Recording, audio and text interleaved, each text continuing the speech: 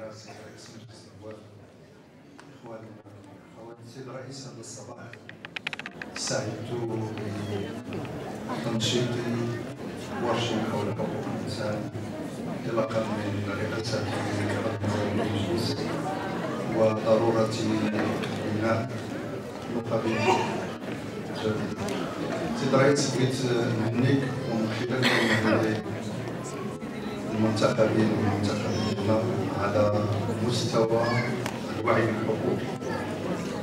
وعلى مستوى التملك ديال الاخوات والإخوان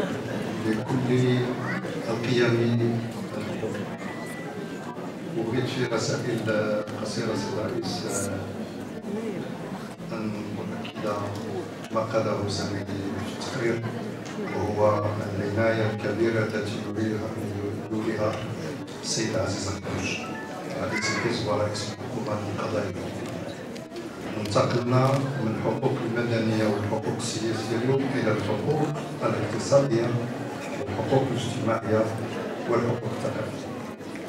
ملي تنتحدثوا على الأمازيغية تنتحدثوا على الحقوق الثقافية ملي تنتحدثوا على الدولة الاجتماعية تنتحدثوا على كل منظومة الحقوق ولكن سيد الرئيس في الورش كان واضحا أنه لا يكفي أن نصل إلى الرئاسة وأنا كنت سؤال المجلس ماذا سنفعل؟ لكن السؤال هو لا بد من إنتاج نخب جديدة قادرة على حمل هذه الثقافة وهذه الكلمة هذه الورقة ديال حقوق الإنسان استغلت دائما للإساءة لنا للتشويش على قضيتنا الوطنية قضية الوحدة الترابية البلاد واليوم يجب أن ننتقل ونحن نترأس المجلس لكي يعرف العالم ليس فقط حجم إنجازاتنا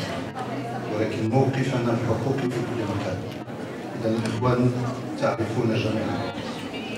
ما يحدث من انتهاكات جسيمة لحقوق الإنسان في مخيمات الجنوب بالنسبة من الناحية الحقوقية فأنا أدعوكم إلى استغلال هذه المنصة الجديدة لفتح كل الذين يخافون حقوق الإنسان. كانت عندنا الشجاعة في المملكة المغربية تحت قيادة جلالة الملك أن نوجه أسئلة حقوق الإنسان في بلادنا بكل الجرأة وبكل الشجاعة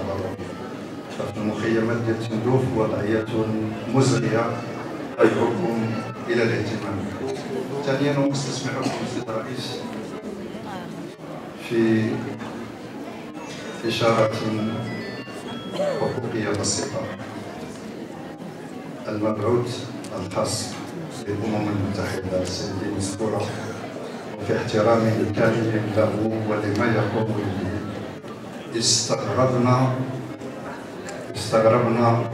خروجه عن إطار قرارات مجلس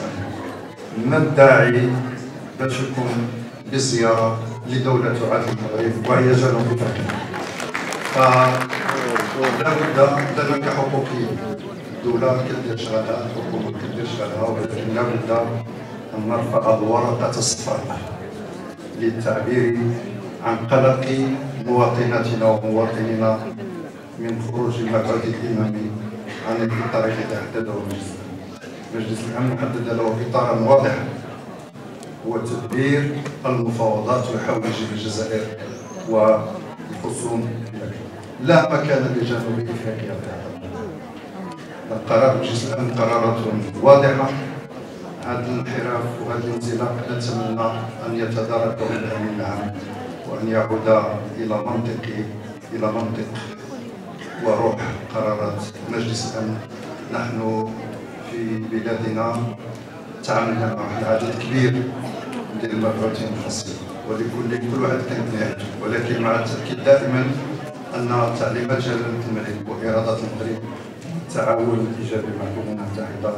نتمنى أن تصل هذه الإشارة إلى من يعني الأمر. شكرا سيد الرئيس. ما تنساوش تابوناو في la chaîne وتأكتيفيو الجرس باش يوصلكم جديد فيديوهات بالبريس وتبارطاجيو مع صحابكم